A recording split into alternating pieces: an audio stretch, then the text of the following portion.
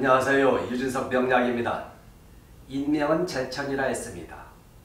사람의 목숨은 하늘에 달려있다. 태어나는 것은 순서가 있지만 죽는 것은 순서가 없다. 그런데 오늘 제가 동영상에서 올리고자 하는 것은 사주가 습하고 냉하고 조가 되지 않은 경우 이런 경우는 건강에 대해서 주의를 해야 한다. 이런 의미에서 한번 강의를 올리고자 합니다. 사주에서 신약 사주이면서 조후가 되지 않았다. 그것은 백발백중 건강에 이상이 있습니다.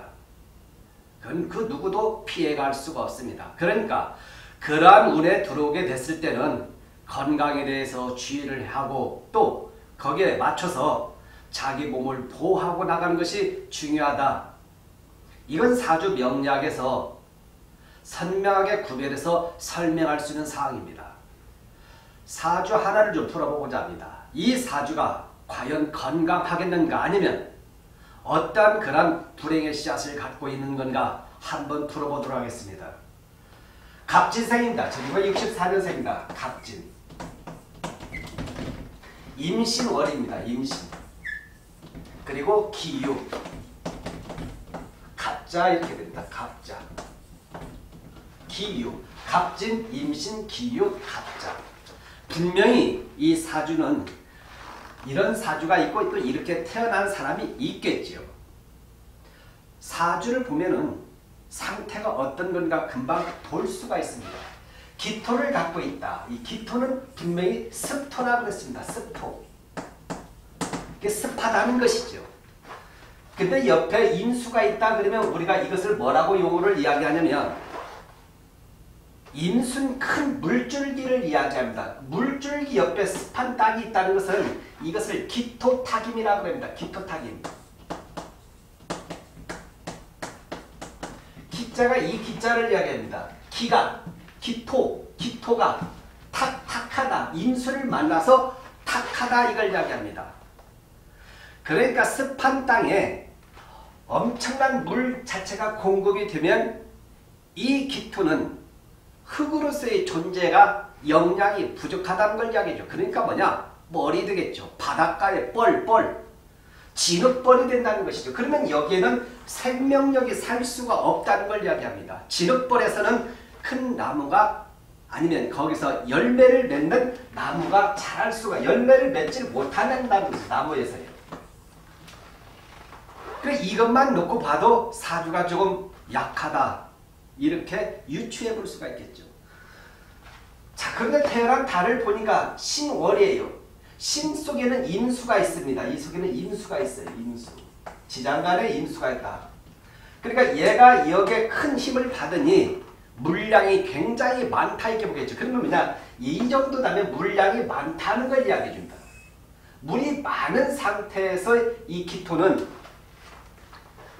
힘이 굉장히 약하다 이렇게 볼 수 있습니다. 그런데 그 옆에 글자를 보면은 진이라는 글자가 있습니다. 신 여기에 자라는 공엽이 있습니다. 공엽이 들어가 있어요. 신 신자진. 그러니까 물의 기운 자체가 강하다 이게 사마벌수 물국이 했다는 거죠.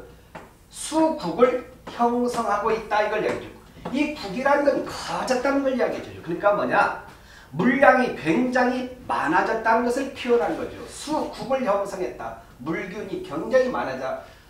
그런데 더 기가 막힌 것은 천간에 인수가 있으니 이거야말로 물량이 어마어마하게 많아졌다는 걸 이야기해 주죠. 물량이.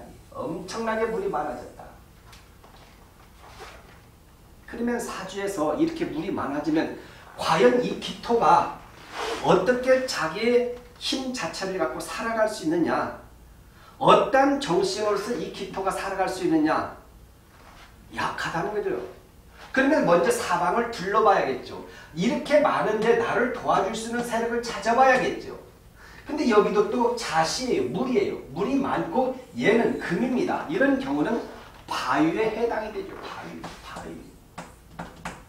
금이지만 바위로 해주자. 물이다. 물이 많고 바위가 있고 이게 조그만 흙이 있는 곳인데 그러면 뭐냐 이 정도다면 거의 이 기토는 조그만 흙이 있는 곳에 온통 주변이 다 바위와 물로 뒤덮여 있는 그런 곳이다 이렇게 설명할 수 있는 곳이죠. 음, 제가 그림을 좀잘못 그려서 그러는데 여하튼 얘는 이 기토는 기토는 흙이 만약에 이렇게 흙이 있다면 온통 물로 물에 휩싸여 있다. 흙이 물에 휩싸여 있는 상태다. 그러니까 이 기토로서는 존재감 자체가 굉장히 약한 것을 이야기해 줍니다. 이렇게 태어났다는 거예요. 이렇게 태어났어요. 그럼 뭐냐? 이 사주는 분명히 힘들고 어려운 상황으로 간다. 태어남과 동시에 신체적으로 몸이 약하다 이걸 이야기해줘요. 또 어느 부분이 더 약하냐? 이렇게 수기운이 많으면 수가 많으면 뭘 약화를 시키냐? 얘가 화기를 극합니다. 화기. 화기를 극한 것은 화는 정신세계를 이야기해줘요. 정신, 멘탈. 얘가 약하다는 걸 이야기하겠죠. 금의 기운 자체가 이렇게 있으면 뭐냐? 금 자체는 목을 극하겠죠. 목. 뇌혈관계죠. 신경이겠죠. 신경. 신경과 정신이 약한 기운이다 이렇게 보겠죠.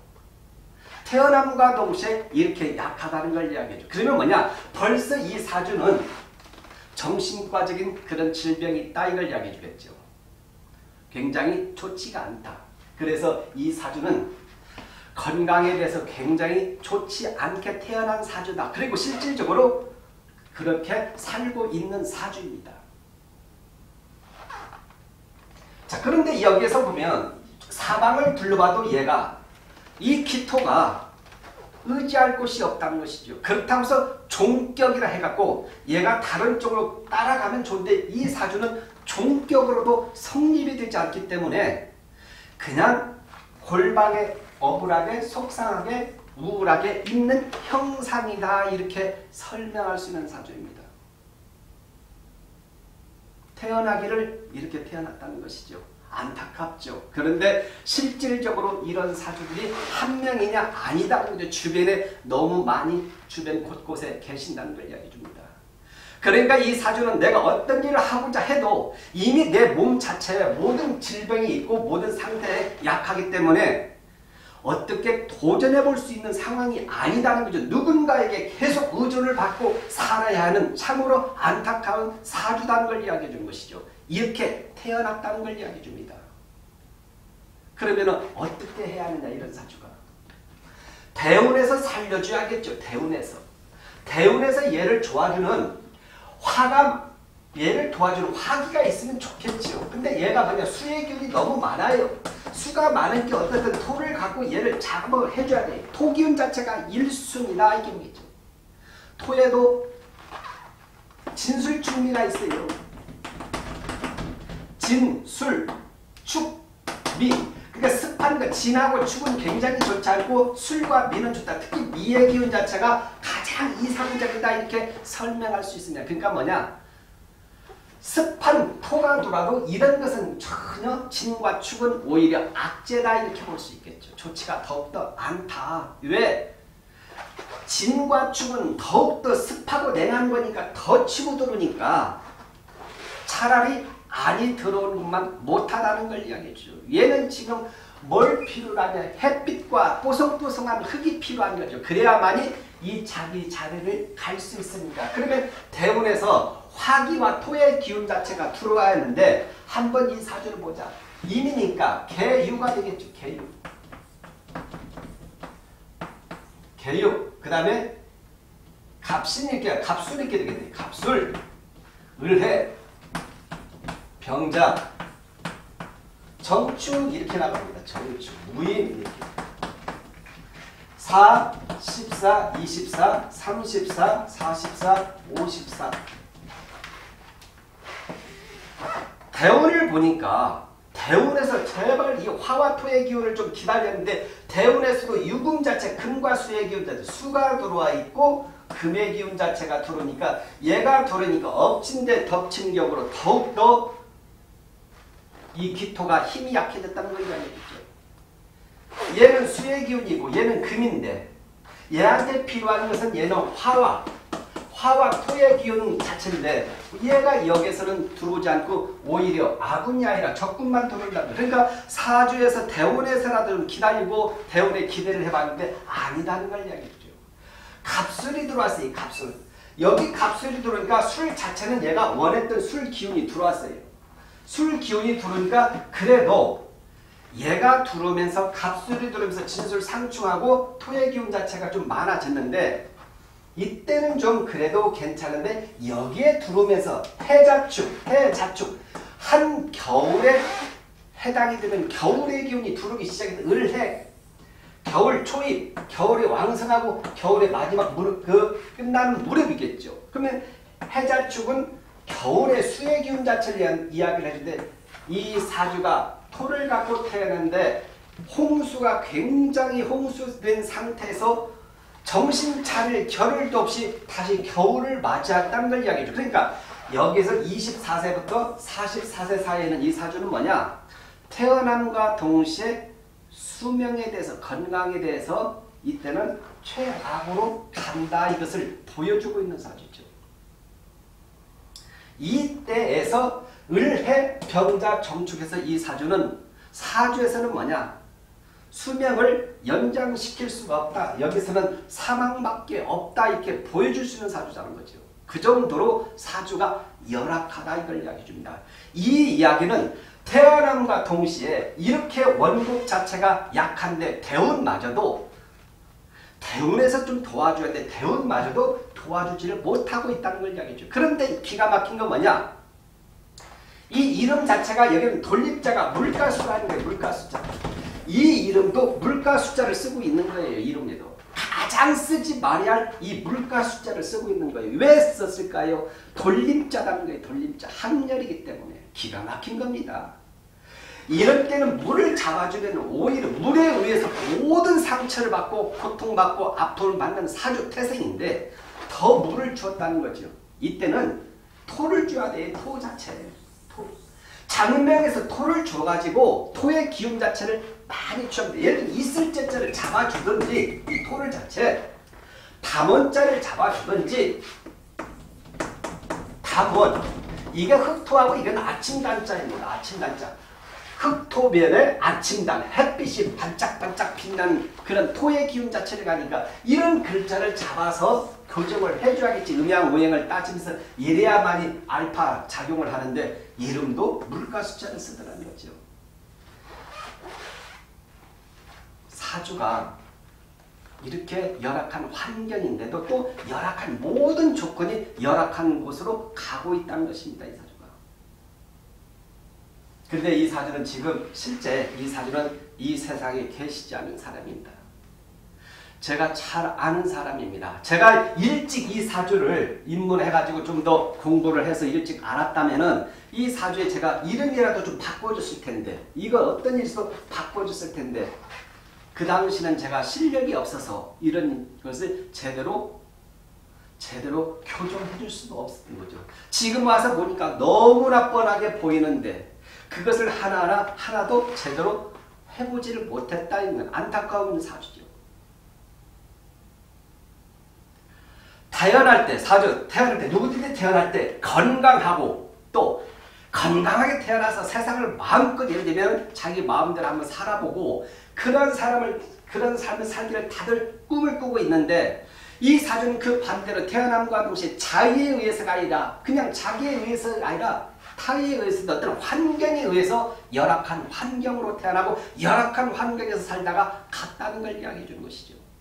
제가 왜 이 사주를 이야기를 하냐면 실질적으로 이런 사주들이 주변에 많이 있다는 거죠. 이렇게 있다가 갑자기 대운에서 이렇게 대운에서 엎친데 덕친격으로 들어올 때 그 시기를 주의하라 이런 뜻에서 제가 강의를 올린 것입니다.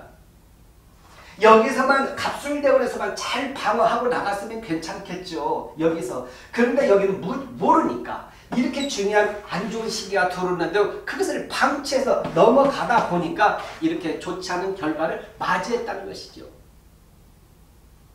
누구든지 지금은 이렇게 기본적으로 사주 원곡이 약한 상태인데 대운에서 다시 좋지 않은 대운이 들어오는 시기가 앞으로 3년 후에 이게 좋지 않은 시기다 들어온다 아니면 5년 후에 들어온다 했을 때 이때는 방어를 해야 한다는 게 어떤 방어? 건강에 대한 방어를 해야 한다는 걸 얘기해 주죠. 장명은 있죠. 이름은 분명히 효과가 있습니다. 잘 지은 이름은 효과가 있습니다. 왜? 이렇게 따뜻한 추운 거니까 아니면 너무 물기운이 많으니까 토를 가지고 화와 토를 갖고 그 따뜻한 이름을 자꾸 그 상대에게 전파를 해주고 전달을 해줬을 때 그걸 파동이라고 합니다. 보이지 않는 기운이 있다는 걸 이야기해 주죠. 밝게 가기 때문에 이름에는 분명히 힘이 있습니다. 그건 성명학을 제가 오래 장명을 오래 해온 사람으로서 느끼는 것입니다. 그러나 그 반대로 이렇게 화기가 사주에 화기가 많은 사람이 있습니다. 화기가 화기가 많은데 돌림자가 불꽃섭자 나는 거예요. 불꽃섭자 이렇게 불꽃섭자를 잡아주면 어떻게 살아냐 다 타라는 거죠. 뇌가 타라는 걸 이야기해 주죠. 메탈이 약합니다. 그런데도 불꽃섭자가 항열이니까 해야 한다는 거예요. 그건 그 아이에게 독약을 주는 것이죠. 정말. 이런 사주를 제가 잠깐 지금 설명해 봤습니다. 그런데 이렇게 사는 사람들이 많이 있습니다. 다시 이야기합니다. 내가 이렇게 습하고 냉한 기운이 많이 있는 사람들은 근본적으로 질병에 대해서 노출되어 있다. 질병에 대해서 주라. 그런데 향후 들어온 운세가 반대로 이렇게 화기와 토기가 많아 있으면 아 이제는 이 사람이 잘 먹고 잘 살겠구나 이제 괜찮아지구나 건강해서 회복돼서 좋아지겠구나 이렇게 희망을 가지면 되는 것이고 또 실제 그렇게 갑니다. 좋아집니다. 그러나 이렇게 안 좋은데 엎친 데 덮친 경우 대운에서 또다시 그 냉한 기운을 갖고 들 때는 건강에 대해서 반드시 주의를 해야 한다. 이런 뜻에서 이 동영상을 올렸습니다. 한번 참고해 보시기 바랍니다. 감사합니다